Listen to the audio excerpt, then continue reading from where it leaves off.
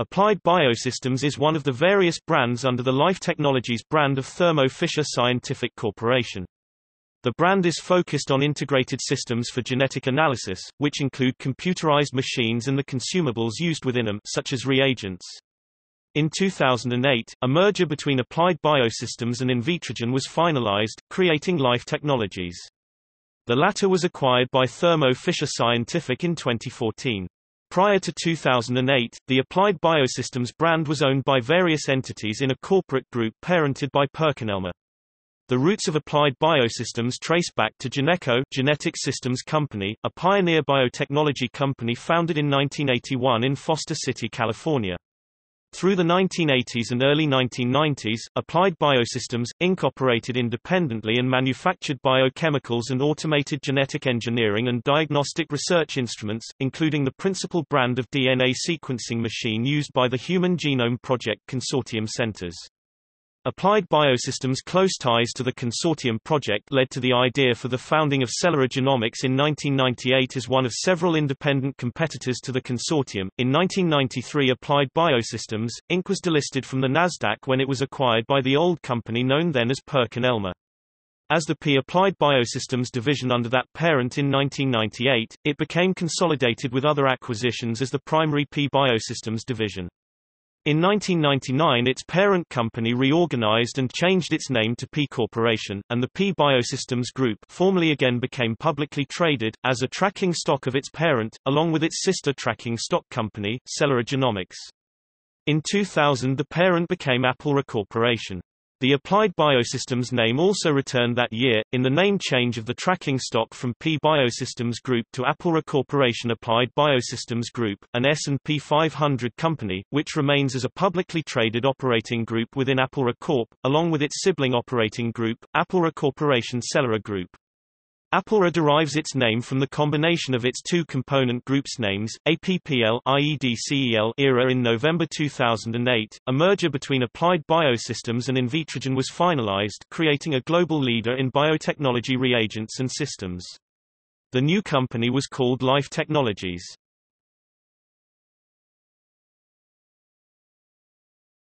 Topic: History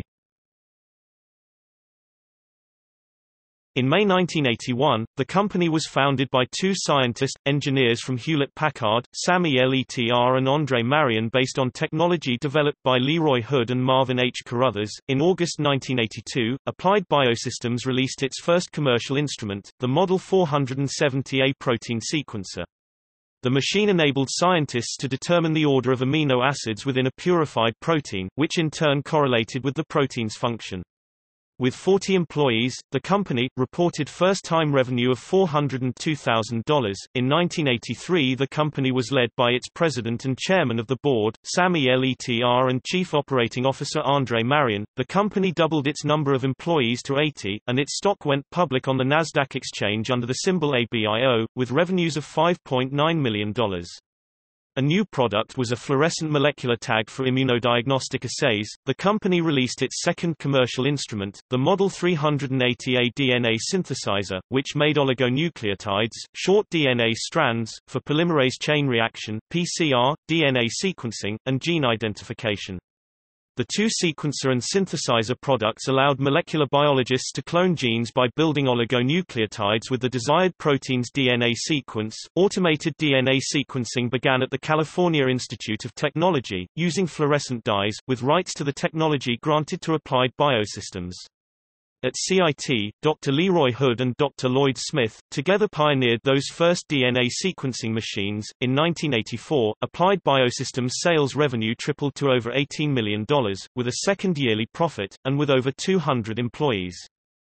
Services included synthesizing custom DNA and protein fragments, and the sequencing of protein samples submitted from customers. The third major instrument made by Applied, the Model 430A peptide synthesizer, was introduced. In 1985, Applied Biosystems sales revenue grew nearly 70% to over $35 million, with a third yearly profit. Two new products included the Model 380B DNA synthesizer and the 381A DNA synthesizer. That year the company went international for the first time, when it established a wholly owned subsidiary in Great Britain to save shipping costs on chemical sales, which overall by then accounted for 17% of sales. Also in 1985, Applied Biosystems acquired Brownlee Labs, a manufacturer of columns and pumps for high-performance liquid chromatography HPLC systems. After its founder, Robert Brownlee was diagnosed with AIDS-related complex in 1984. Brownlee's technology brought the new online 120 APTH amino acid analyzer, however, Brownlee then began a new company, which was viewed by Applied as a competitor. In 1989 Applied and Brownlee settled in a lawsuit over the conflict. As late as 1990, Brownlee publicly discussed what had been his contributions in the rocky relationship with Applied. Before he died early the next year, in 1986, André Marion became president and chief executive officer. Sales revenue increased by 45% to nearly $52 million. The company introduced six new products, totaling 11 automated instruments. The release of the Model 370A DNA sequencing system, using fluorescent tags, revolutionized gene discovery. The Model 340A nucleic acid extractor became used in medical labs to isolate DNA from bacteria, blood, and tissue. In 1987, Sam Eletr resigned for health reasons. Revenues increased by 63% to nearly $85 million, with 788 employees, and another six new instruments. Applied Biosystems acquired the Kratos division of Spectros International plc. By 1988, the product line had increased to over 25 different automated instruments, over 400 liquid chromatography columns and components, and about 320 chemicals, biochemicals, and consumables. Sales revenue grew to over $132 million, with almost 1,000 employees in eight countries. In that year for the first time, genetic science reached the milestone of being able to identify individuals by their DNA. In 1989, sales revenue reached nearly $160 million. Applied Biosystems maintained 15 offices in nine different countries, and introduced four new products. The company developed enzyme-based reagent kits made by Promega Corporation, and in the new field of bioinformatics, licensed with TRW Inc. Also, joint marketing began with PerkinElmer Corporation and Cetus Corporation formerly of Instruments and Reagents for DNA Replication, the fastest-growing segment in biotechnology. In 1990, instrument sales underwent a cyclical slowdown, as the economy entered the 1990-91 recession. For the first year, applied revenues did not grow, and came in at less than $159 million, with 1,334 employees.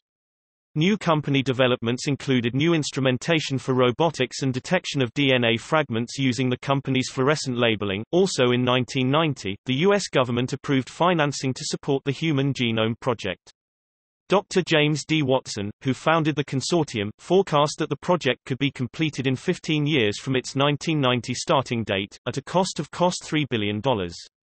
Over the next couple years, Japan began a project to sequence the rice genome, and other laboratories initiated programs to sequence the mouse, fruit fly, and yeast genomes. In 1991, applied sales revenue grew slightly, to almost $164 million, with consumables and service contracts up by 24% to account for 47% of total sales, and DNA sequencer and DNA synthesis instruments having record sales. 45 new consumable products and six new instruments were introduced. In 1992, sales revenue grew by more than 11% to over $182 million, with Europe representing 25% of revenue, and Asia and the Pacific Rim accounting for 26%. The company formed a new subsidiary, Lynx Therapeutics, Inc., to focus on antisense DNA research in the area of therapeutics for chronic myelogenous leukemia, melanoma, colorectal cancer, and AIDS.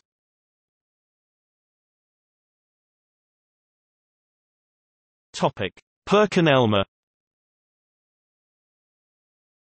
In February 1993 Applied Biosystems was acquired by PerkinElmer, and became the Applied Biosystems division, as part of the life sciences markets segment of that company. André Marion, who had been Applied Biosystems as chairman, president and CEO, became a senior vice president of PerkinElmer, and president of the Applied Biosystems division. That year the company was the world's leading manufacturer of instruments and reagents for polymerase chain reaction PCR. It marketed PCR reagents kits in alliance with Hoffman La Roche Inc. in 1994. PerkinElmer reported net revenues of over $1 billion, of which life sciences accounted for 42% of the business. The company has 5,954 employees. A brand new highly competitive genomics industry had formed for the development of new pharmaceuticals, based on the work of the Human Genome Project. Companies such as Human Genome Sciences in Maryland, Myriad Genetics in Utah, INCYTE Pharmaceuticals later Incyte Genomics in California, and Millennium Pharmaceuticals relied on the Applied Biosystems division, which made thermal cyclers and automated sequences for these new genomics companies. In 1995, upon Andre Marion retirement, Mike Hunkapiller became president of P Applied Biosystems division which sold its 30,000th thermal cycler. To meet Human Genome Project goals, PerkinElmer developed mapping kits with markers every 10 million bases along each chromosome.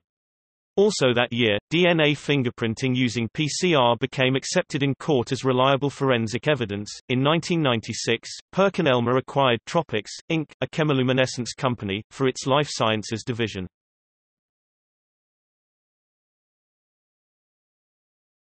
Topic: P Applied Biosystems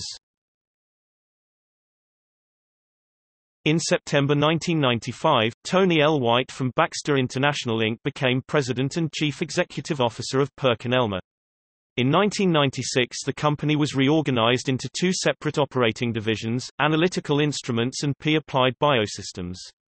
The P Applied Biosystems division accounted for half of PerkinElmer's total revenue, with net revenues up by 26%.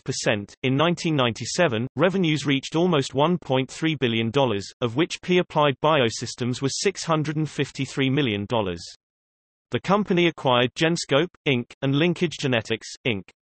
The Linkage Genetics unit was combined with Zoogen to form P-Agen, focused on genetic analysis services for plant and animal breeding.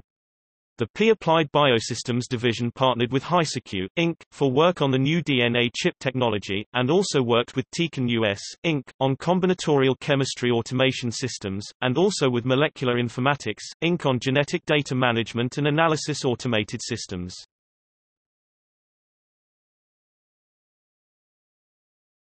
Topic. P Biosystems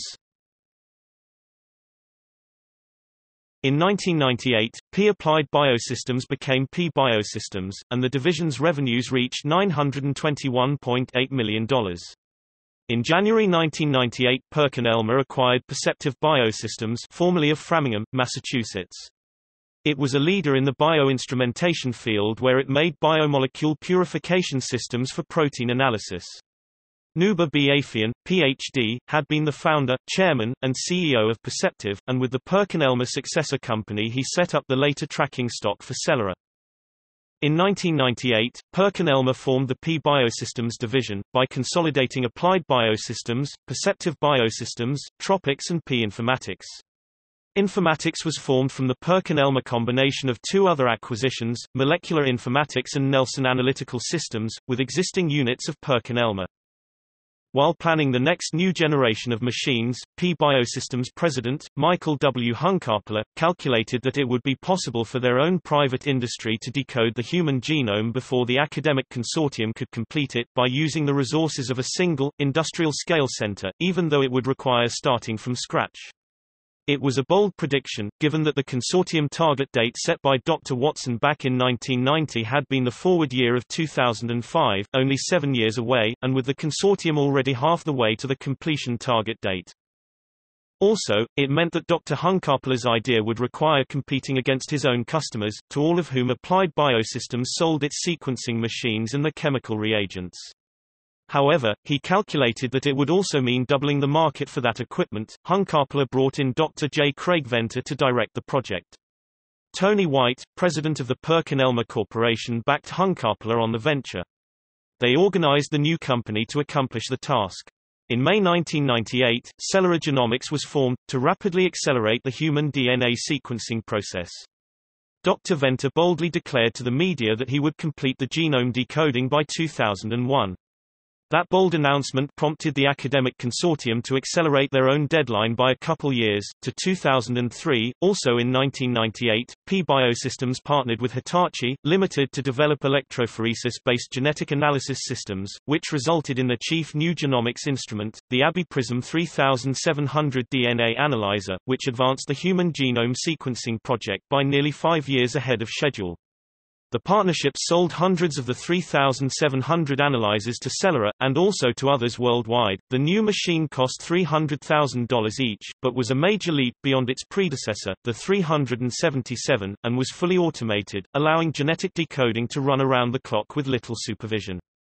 According to Venter, the machine was so revolutionary that it could decode in a single day the same amount of genetic material that most DNA labs could produce in a year. The public consortium also bought one of the P Biosystems 3700 sequences, and had plans to buy 200 more.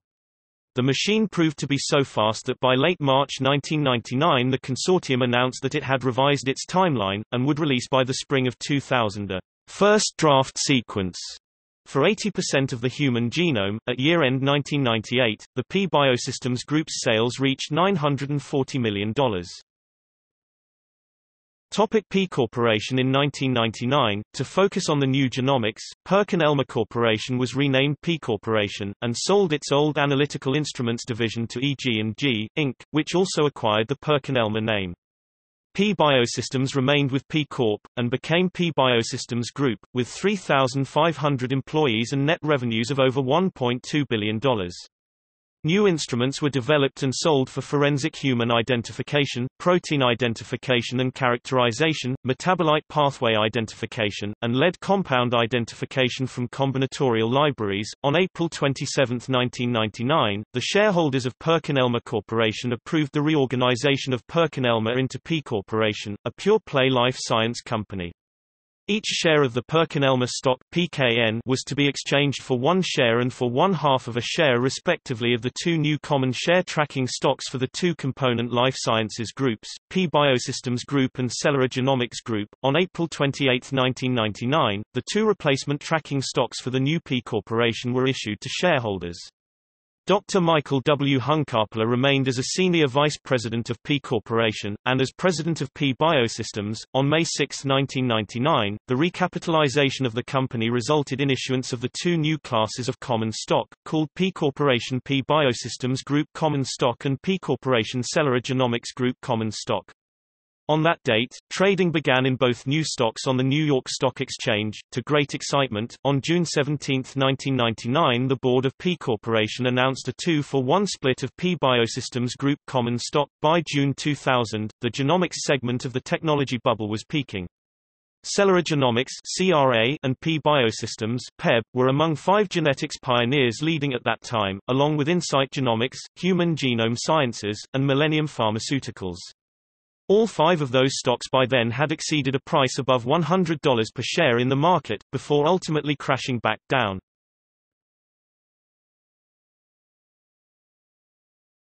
Topic. Applera On November 30, 2000, P Corporation changed its name to Applera, combining the two partial names Applied and Celera into one, with 5,000 employees. P Biosystems Group was renamed once again to Applied Biosystems Group, and changed its ticker symbol from PEB to ABI. Its net revenues rose to almost $1.4 billion. Celera that year made milestone headlines when it announced that it had completed the sequencing and first assembly of the two largest genomes in history, that of the fruit fly, and of the human. In 2001, the Applied Biosystems division of Applera reached revenues of $1.6 billion, and developed a new workstation instrument specifically for the new field of proteomics, which had become Celera's new core business focus, as it shifted away from gene discovery. The instrument analyzed 1,000 protein samples per hour. On April 22, 2002, the Celera Genomics Group announced its decision to shift the role of marketing data from its genetic database over to its sister company, the Applied Biosystems Group. Celera would instead develop pharmaceutical drugs. Applied Biosystems was a better fit for the database, because Applied already had the huge sales force in place for the marketing of its instruments. Plans were to expand those sales and those of the database into an electronic commerce system. In 2002, Applied Biosystems reached revenues of $1.6 billion for the year, and took control from Celera of the support of Celera Discovery System CDS, a data tool to answer specific genomic and proteomic queries, involving the new genetic data field of tens of thousands of single nucleotide polymorphisms SNPs within the human genome. The company developed another new tool, which combined the first ever union of triple quadrupole and ion trap technologies. In proteomics research, the database itself would remain with Celera, because of shareholder approval complications. Celera would retain responsibility for its maintenance and support to existing customers, and would receive royalties from Applied Biosystems. In 2003, Catherine Burzik joined Applied's management, from Ortho Clinical Diagnostics. Applied developed a new tool which measured antibody-antigen binding in real-time kinetic analysis of up to 400 binding interactions simultaneously. In 2004, Mike Hunkapiller retired and Kathy Burzik replaced him as president of Applied Biosystems. Applera collaborated with General Electric, Abbott Laboratories, Seattle Genetics, and Merck in diagnostics development. Applied Biosystems also teamed with Northrop Grumman and Cepheid of Sunnyvale, California, to detect Bacillus anthracis during the anthrax contamination case of the U.S. Postal Service. In 2005, the company released new tools for small molecule quantitation in pharmaceutical drug development. In Mexico, Applied Biosystems collaborated with the National Institute of Genomic Medicine of Mexico Instituto Nacional de Medicina Genómica or INMEGEN, and established an Applied Biosystems sequencing and genotyping unit at INMEGEN. In 2006, Applied Biosystems acquired the Research Products Division of Ambion, a supplier of RNA-based reagents and products. That year, with the influenza A subtype H5N1 avian flu Strain Scare, the company launched a global initiative to identify and track such infectious diseases. In 2006, Applied Biosystems also acquired Agincourt Personal Genomics, located in Beverly, MA, to commercialize Agincourt's solid sequencing system. In 2007, ABI Solid Sequencing, a next-gen DNA sequencing platform was announced. Mark Stevenson was appointed President and Chief Operating Officer of Applied Biosystems. In November 2008, Applied Biosystems merged with Invitrogen, forming Life Technologies, which was acquired by Thermo Fisher Scientific in 2014.